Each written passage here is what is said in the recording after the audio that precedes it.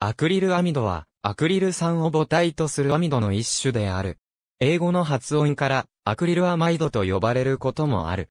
指定式は、CH2 コールチャコーンに、分子量71.08、CAS 登録番号は、79から06から1。発がん性があるとされる。アクリルアミドの粉末融点は摂取84.5度、常温では無臭白色結晶で水、アルコール等に可用である。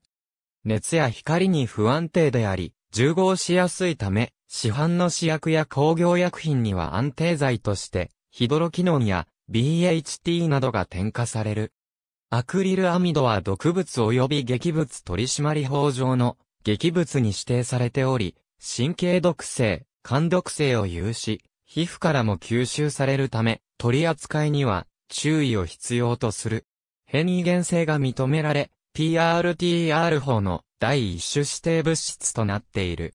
毒性は強く、マウスなどの動物実験の結果、どんなに少量でも遺伝子を傷つける発がん性物質と判明した。トンネル工事の水漏れ防止など工業用に使われる化学物質として知られていたが、スウェーデン政府が、ジャガイモのスナック菓子などの食品から高濃度で検出されたと公表し、世界に衝撃を与えた。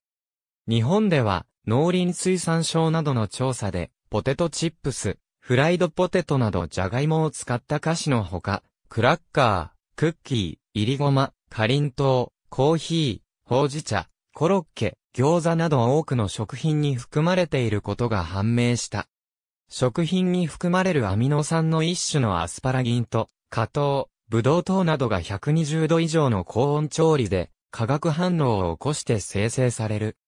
また、労働安全衛生法によって、純品及び0.1%以上を含有する混合物には、含有量や危険性を表示し、MSDS などに危険性や対応方法を告知することが義務付けられている。アクリルアミドは、アクリロニトリルの加水分解により、工業的に合成されている。同触媒、三触媒を利用した製造法が実用化されている。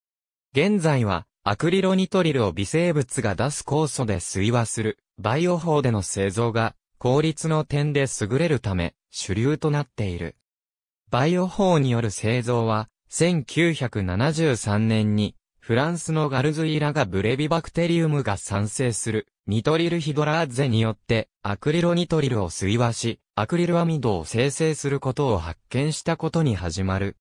1985年には、日本の日東化学工業株式会社が、ロドコッカス属の細菌を用いて、世界初の実用化装置を稼働させた。現在、ロドコッカス属を使う方法が主流であるが、他にもシュードモナスクロロラフィスを用いる方法なども使われたことがある。ポリアクリルアミドの製造原料、染料、合成樹脂、化強剤の合成原料など。工業的には水分をほとんど含まない結晶粉末か50%までの水溶液として流通している。メイラード反応同じ製品でも使用原料や加工条件の違いなどにより、アクリルアミドの含有量には大きな個体差があり、含有量を的確に表現できないとされる。